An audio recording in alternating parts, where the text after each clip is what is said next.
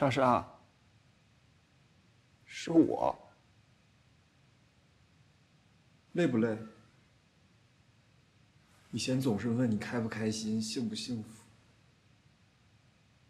但到了今天才想起来，应该关注你的感受。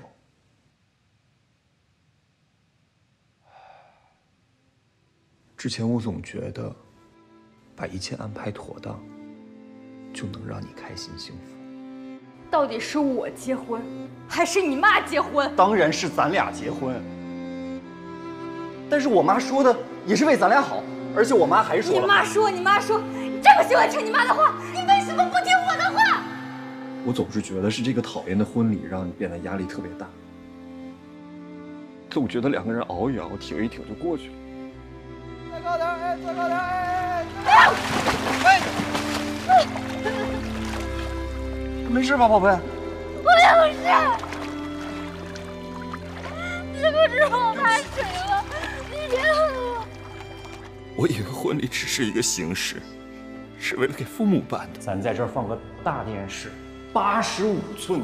我错了，我全都错了。我总觉得站在了你的角度去思考问题，总觉得各种方法已经照顾了你的感受，可我真的没想到我会做的这么差。对不起，对不起，莎莎。我还一直觉得我做好了给你一个家的准备，但我今天才明白，什么才是家。我感受到小云和妈妈在你们结婚的这件事情上的处理方式，让你非常的烦闷和苦恼，而这种心情。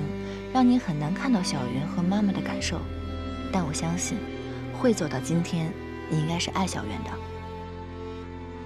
莎莎，能不能试一试，想象你是他，此刻小袁是什么心情呢？是不是也跟你一样，觉得没有人了解自己的苦？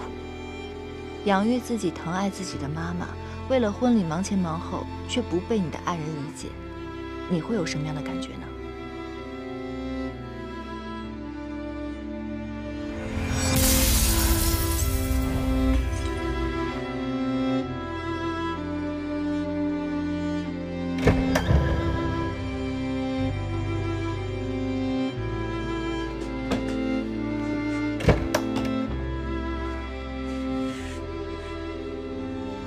我想你。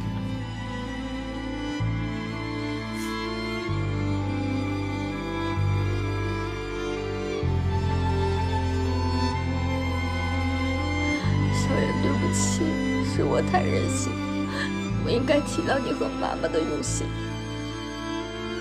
没关系的。哎，出来了，他们。出来了。贺老师，真的太感谢你了。你居然有办法 让康子元不跟我讲道理，这事其实功劳不在于我。没什么，你们赶紧收拾收拾吧，我还等着喝你们喜酒呢。嗯。贺老师，你的衣服怎么湿了？嗯，我房间正好还有一套备用礼服，你要不要换上？不用了，不用麻烦。那去我房间吹一下吧，不然太湿了。对啊，要不吹一下，去换一下，我给你。是啊，贺老师。去吧，我自己来就好。啊，行，那我们就先过去吧。亲友们在等着呢，啊。